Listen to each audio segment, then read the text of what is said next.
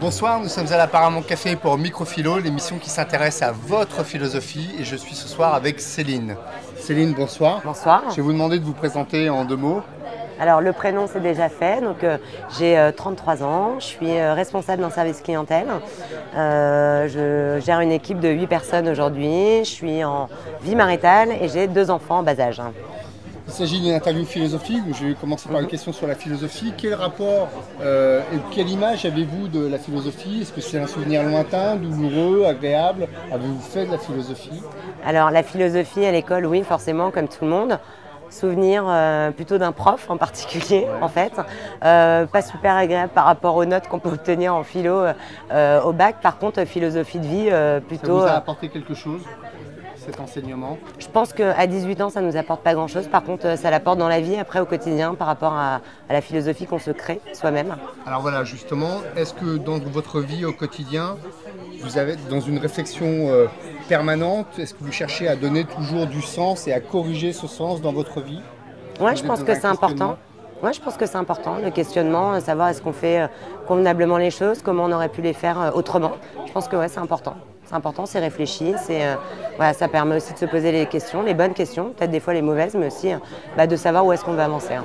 Question pour vous, justement, les bonnes questions ou une bonne question? Les bonnes questions, c'est comment comment on acquiert le bonheur, comment on fait pour le conserver, comment on fait pour faire perdurer euh, tout ça dans une vie. Une philosophie, je pense que ça se construit euh, au fur et à mesure de sa vie et donc de l'âge qu'on a. Euh, voilà. Donc aujourd'hui, je suis encore jeune, je pense que j'ai encore tout à construire, mais on l'apprend jour, jour après jour. Alors vous parliez de bonheur, c'est la question principale de la philosophie qui mhm. cherche à avoir la vie heureuse. quelle est votre conception du bonheur? Ma conception, je pense qu'elle passe par deux noyaux durs. Donc il y a la famille déjà au départ, celle qu'on se crée par la suite, hein, qui passe par l'amitié. Je pense que c'est extrêmement important, en tout cas pour moi. Tout à fait. Enfin, l'amitié, en fin de compte, c'est la famille qu'on se crée, hein, celle qu'on choisit, en fin de compte, au fur et à mesure de la vie. Et ensuite, bah, la famille euh, qu'on se fait avec euh, son mari et ses enfants, euh, où là, nous, on leur inculque une philosophie de vie hein, qui est la nôtre au départ. Est-ce que c'est difficile d'être heureux ou est-ce que c'est facile? Est-ce que c'est un combat? Je pense que c'est un combat quotidien, ouais. Je pense que c'est pas facile. ça demande ça demande de s'accrocher, ça demande euh, ouais, de, se battre un petit peu pour, euh, pour être heureux aussi. Je pense que c'est pas si facile que ça, mais euh, ça vaut le coup. Dans la définition du bonheur que vous donniez tout à l'heure, ça mhm. passe forcément par les autres, mais on va commencer par vous. Une des questions principales de la philosophie, c'est qui suis-je? L'interrogation sur soi. Est-ce que vous pouvez répondre à cette question Qui suis-je? Non, je pense qu'on a une bribe, une bribe de réponse à l'âge que j'ai aujourd'hui. Je pense qu'on le construit toute sa vie cette question. Qui suis-je? Qu'est-ce que je veux faire quand je serai plus grande?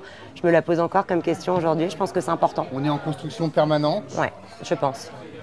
Et est-ce qu'on est, soi-même aveugle sur soi? Est-ce qu'on est un, point aveugle? Est-ce que les autres vous renvoient une image de vous, justement, qui correspond euh, à ce que vous pensez être ou pas?